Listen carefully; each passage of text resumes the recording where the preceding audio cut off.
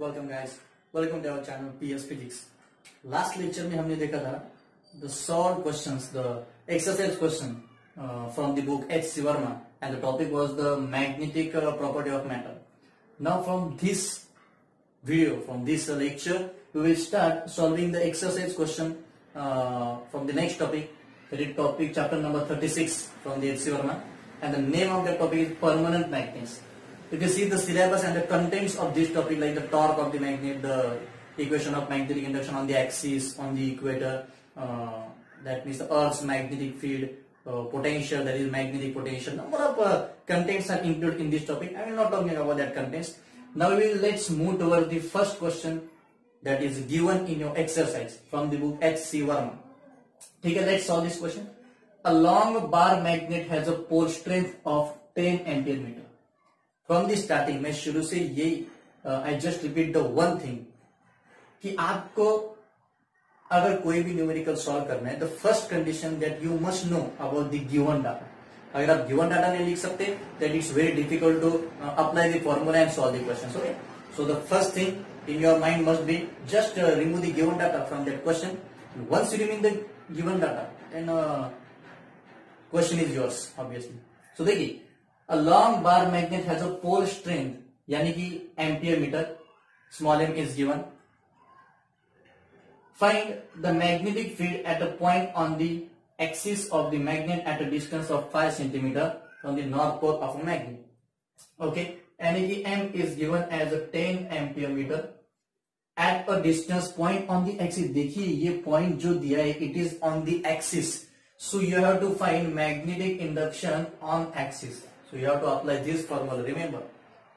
of the magnet at a distance 5 centimeter from the north pole यानी कि distance is given as 5 centimeter so formula is very simple b of x is mu 0 divided by 4 pi into m divided by r square ठीक है mu zero upon four pi की value तो हमें पता है it is ten to the power minus seven into ten divided by R का square यानी कि फाइव अगर इस सेंटीमीटर का कन्वर्जन हमने मीटर में किया तो यह आएगा five into ten to the power minus two meter so five into ten to the power minus two का स्क्वायर यानी कि ten to the power minus seven into ten divided by twenty five into ten to the power minus four अगर हमने इसे solve किया then we get answer minus seven ten ten to the power minus six into ten to the power four divided by twenty five यानी कि minus four अगर ऊपर गया, देखिए यहाँ पे वन होता है। माइनस सेवन प्लस वन अगर सॉल्व किया तो माइनस सिक्स आएगा। ये माइनस फोर ऊपर गया, प्लस फोर। यानी कि zero point zero four, one divided by twenty five, zero point zero four into ten to the power minus two so final answer आपको बी ऑफ़ एक्सिस मिलेगा simply four into ten to the power minus four test this is one of the very simple question. We are using a direct formula in this question. मैंने पहले बोला था। अगर एक बार आपको given data समझ में है you are automatically find out the formula these formula calculation are very now the next question is question number two from the exercise before solving that question let see one very important point as we seen in the electrostatics the equation for the magnet electric intensity and electric intensity E is given by one by four five it's not Q divided by R square in simple condition Now if you have to find the equation for the magnetic field and pole strength M is given, see if pole strength M is given at a distance R and we have to find the magnetic field B, then the simple formula that we have to use is mu 0 upon 4 pi M divided by R square. 1 by 4 pi epsilon 0 is replaced by 1 divided by 4 pi epsilon naught. It replaced by mu 0 divided by 4 pi.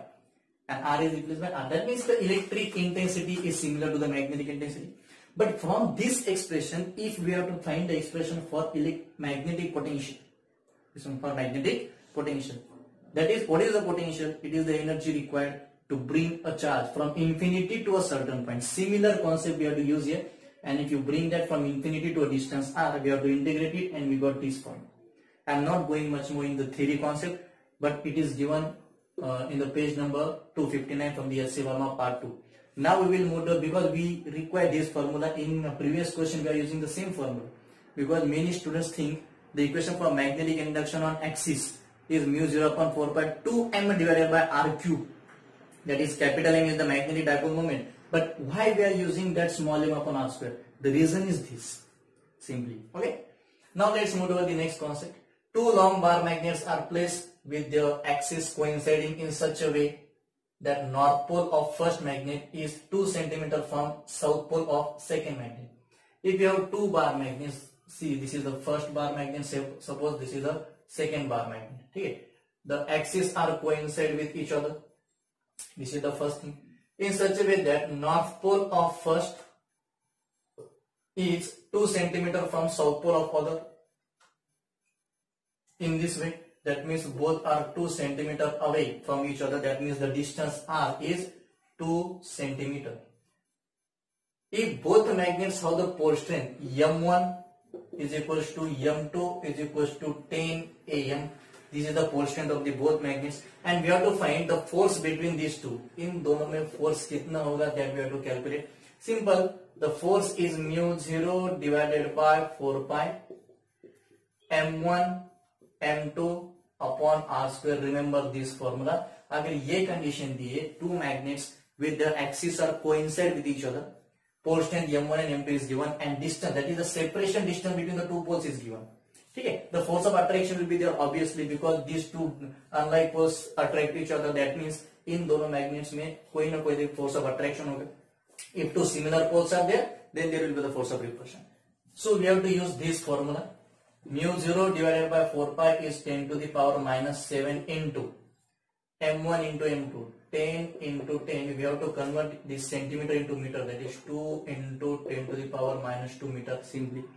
Okay? If you convert that centimeter into meter. Put this formula value in this minus 2 ka square. 10 to the power minus 7 as it is 10 into 10 that means it is 100 upon 4 into 10 to the power minus 4 if we again solve this expression then we get 10 to the power minus 5 into 10 to the power 4 divided by 4 simply ये minus seven ये plus two minus five हो गया ये minus four अगर ऊपर गया that is ten to the power plus four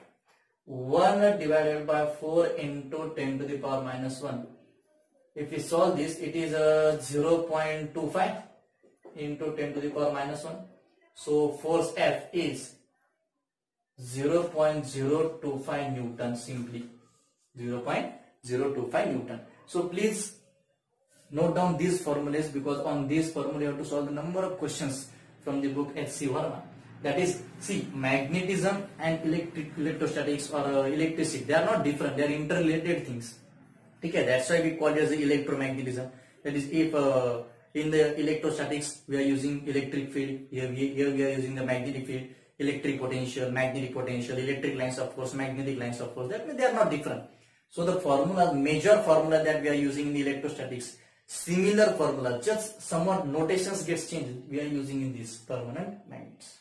now next question question number three from the topic permanent magnets देखिए now in this question a uniform magnetic field of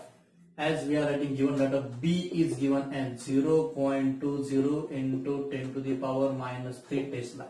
So this is the value of B that means magnetic induction is given if we solve this then we got 20 into 10 to the power minus 5 decimal हमने point यहां से लेके यहां पे shift किया and we know that if we shift the point toward the right the power of 10 increases by negative so here is minus 3 we shifted this point by 2 digits so we get here is minus 5 find the change in magnetic scalar potential that means we simply have to find the value of magnetic potential dv okay as one moves through a distance So distance dl is given suppose it is a 50 centimeter a small distance dx आप इसे v और l भी कह सकते देखिए in the electrostatics electrostatics में हमने एक फॉर्मूला देखा था E is given as minus dv divided by dx E equal to minus dv divided by dx if we have to find dv, we are able to write dv is equals to minus E into dx. dv is equals to minus E into dx. Similarly this is in the case of electrostatics same condition हम magnetic field में भी लिख सकते हैं। देखिए, यहाँ पे electric field intensity हम यहाँ पे लेंगे मैग्नेटिक फ़ील्ड इंटेंसिटी ओके यहाँ पे है पोटेंशियल डीवी यहाँ पे डिस्टेंस dx है, हम यहाँ पे लेंगे dl this minus sign just indicate your potential so ये माइनस साइन को आप रिमूव भी कर सकते डजेंट मैटर सब हमें फाइंड करना है DV so dv is is equals to B dot DL DV is equals to b dot dl. ठीक है? The value of b is given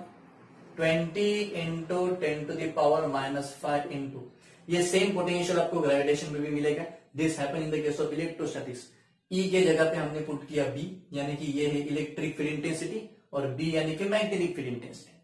dv is the potential that is the change in potential and dx is the distance